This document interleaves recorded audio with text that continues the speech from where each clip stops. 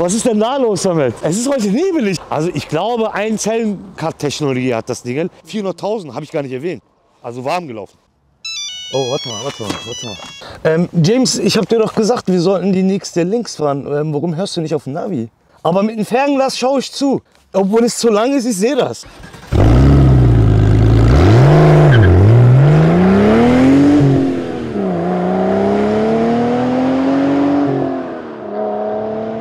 Willkommen bei Kfz Putzi. Schön, dass ihr eingeschaltet habt. Ihr wisst, mein W124 muss noch gemacht werden. Also haben wir uns ja gedacht, wir hauen einfach ein neues Projekt raus. So ein Low-Budget-Projekt, ganz schnell. Wir ziehen das durch von A bis Z. Aber bevor wir damit anfangen, es gibt eine kleine Story, die will ich euch kurz erzählen. Und dann switche ich einmal rüber. Es war so, ich habe ja den W124, wollte ich auf 500er umbauen. Und dann habe ich ja Probleme mit dem Motor gehabt, weil der Motor hat einfach nicht gut gelaufen. Dann hat mich der liebe Werder angerufen und hat gesagt, Junus, ey, ich habe einen Motor hier, hol den doch einfach ab. Wie soll das gehen, habe ich gesagt. Er sagt, nein, Yunus, ich habe den ganzen Wagen hier, der läuft, nimm den einfach mit. Und so entstand das Ganze. Schaut euch einfach das Video kurz an und danach zeige ich euch den Wagen.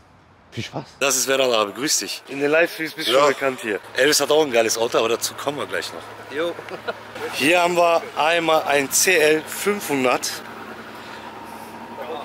Ihr kennt die Autos. Und natürlich, wer Werder kennt, vier Auspuffrohre. Ist ja klar. Ja, CL 500. Ah, echt noch kalt. Ich habe schon seit ein paar Tagen bin ich nicht mehr gefahren. Kann mal starten. Also Kaltstart wird uns reichen. Ach du Heilige.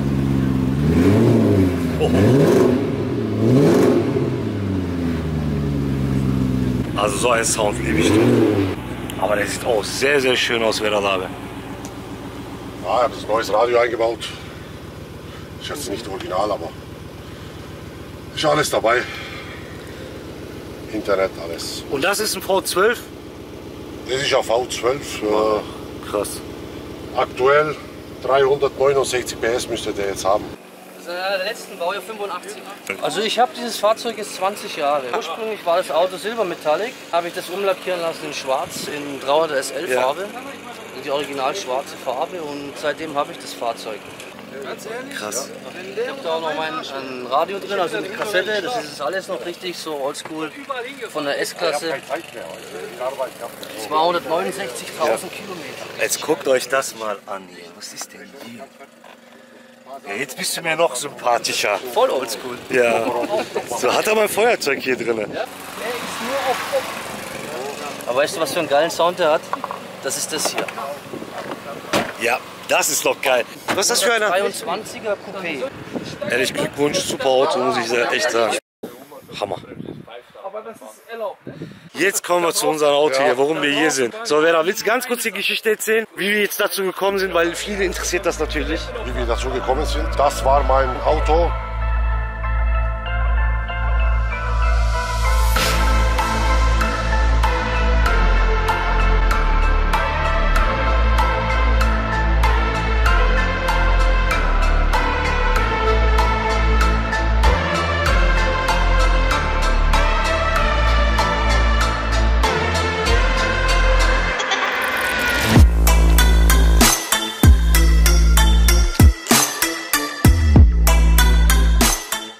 Damals gekauft, alles gemacht, Inspektion, Ölwechsel, alles, Rost habe ich behandeln lassen. Halbe Jahr damit gefahren und dann habe ich ein anderes Auto gefunden, was mir besser gefallen hat. Habe ich ja. gesagt, okay, die verkaufe ich, weil mein Arbeitskollege, der wollte die unbedingt haben, das Auto. Habe ich gesagt, komm, nimm sie, kauf sie. Er ist jetzt drei Jahre circa, ist er damit gefahren, ist der TÜV abgelaufen. Jetzt hat natürlich wieder andere Stellen angefangen zu rosten und er hat gesagt, er will die nicht mehr, er will ein anderes Auto. Dann habe ich das halt wieder zurückgekauft zum günstigen. Ja. Habe ich gleich dich angerufen, habe ich gesagt, vielleicht hast du Interesse, komm vorbei, nimm mit, mach was du willst. Und das ist schon mal hammergeil, das hat er auch echt gemacht. Ich bin jetzt hier und nehme den Wagen natürlich mit. Ich, riesen Dankeschön, dass, dass, du an mich denkst ja. und dass ich das einfach mitnehme. Das ist krass. Also echt Dankeschön. Es waren schon Interessenten auch da, wie man hier sieht. Ja. Gleich einen Tag später. Ja, wir machen mal Werbung für euch. Ihr kriegt das nicht. das Auto ist ein 5 Liter V8 500er SL. Eine lange Version. Sieht man hier auch an den Fenstern, dass die länger sind, weil ja. die kurze Version geht ungefähr bis hierher. Und so. der hat komplette Vollausstattung, elektrische Sitze und. Sitzheizung hinten, Bose, Soundsystem. Ja. Ich- habe sogar gesehen, der hat sogar Massagesitze. Ah, ja, hat er okay. Massagesitze. ja gut, ich habe die nie benutzt damals. Ja, also ich muss sagen, krass, geil. Muss halt äh, sauber gemacht werden. Ja. Ich weiß ja nicht, was du damit vorhast. Ja, werden wir sehen. Ja. auch dieses Luftfahrwerk, das funktioniert auch. Es sind vier neue Stoßdämpfer drin. Einer liegt sogar noch hinten drin.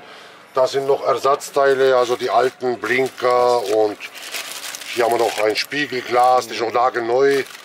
Hier sind noch ein paar Zündspulen, die Originale, sind alles neu gewechselt.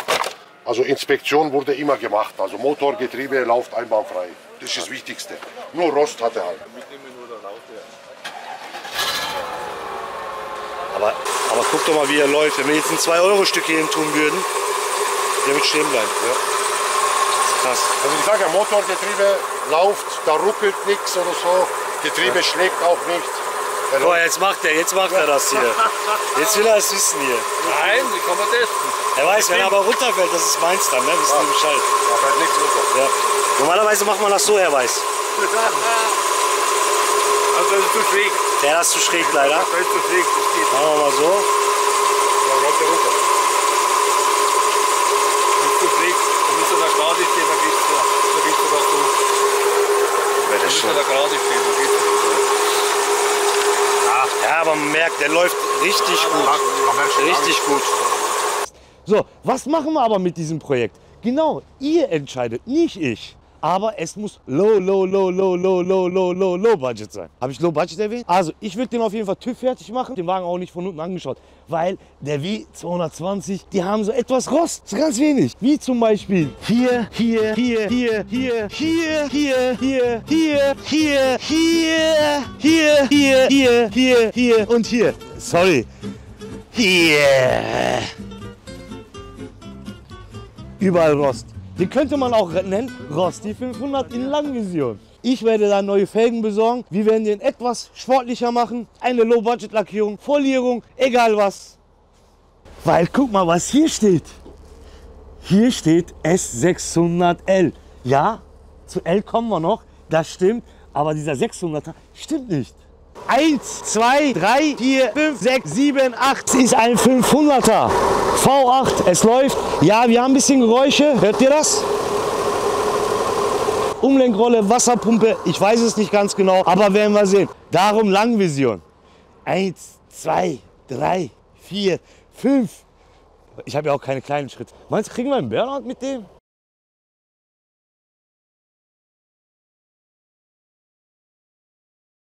Was ist denn da los damit? Es ist heute nebelig so nebenbei, ne? Silvester haben wir noch nicht, aber ist ja bald. Also ich muss sagen, der hat auf jeden Fall volle Power. Ich habe echt jetzt ein bisschen Gas gegeben, also nicht so, ne? Weil wir wollen ja den Grundstück hier nicht versauen. Schreibt doch bitte in die Kommentare, was wir damit machen sollen. Sollen wir den lackieren, sollen wir den folieren, sollen wir eine Baumarktfarbe drauf machen? Lass den doch versuchen zu retten, wie den ML, mit wenig Geld viel rauszuholen. So ganz billige Felgen kaufen und Rost wegmachen und TÜV fertig machen. Hier der vordere Sitz hier, Samet, weil ich habe hier Probleme gerade. Ich sag, ey Kollege, geh mal ein bisschen nach vorne hier. Und dann kannst du den nach vorne schieben. Und dann sagst du, weißt du was? Oder nach hinten nochmal. Und dann gehen wir nach hinten. Und dann haben wir nochmal Sitzheizung, Sitzbelüftung und so weiter. Guck doch mal. Samet, in welchem Auto kannst du schon so sitzen? Das Problem ist, wenn du dem Fahrer was sagen willst, Samet, vorne, dann ist das so. Ähm, James, ich habe dir doch gesagt, wir sollten die nächste links fahren. Ähm, warum hörst du nicht auf den Navi? Ja, ich krieg das auch nur ganz kurz mit hier. Aber mit dem Fernglas schaue ich zu. Ehrlich, fahr links und fahr nicht schneller als 50, Kollege. Obwohl es zu lang ist, ich sehe das. Bitte nicht zu schnell fahren. Und die nächste links. Dankeschön. Und nebenbei, ich hab's eilig. Anders kann man sich halt nicht verständigen bei diesem Auto. Guck dir diese Beinfreiheit an. Ich kann da drinnen schlafen. Mit ausgestreckten Beinen. Es ist ja nicht so, dass du keinen Platz vorne hast. Übrigens, bei dem Fahrzeug haben wir ein bisschen elektrische Probleme. Wir machen die Zündung an, auf einmal gehen Fenster runter, Lenkrad geht nach oben, nach unten, so wie er haben will. Manchmal geht der Gang nicht rein. Er hat Geräusche, tausend Sachen sind ausgestanden, von unten nicht geschaut. Aber ich bin mir sicher, es wird sehr viel an Rost sein. Aber das wird ja spannend sein.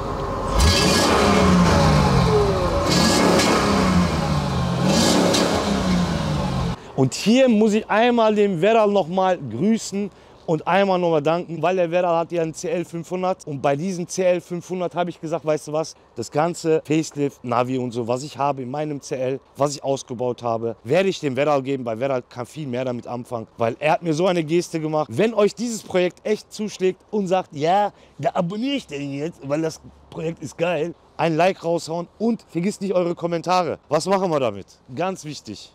Dankeschön fürs Zuschauen. Bleibt gesund und wir sehen uns beim nächsten Mal. Euer. Ciao.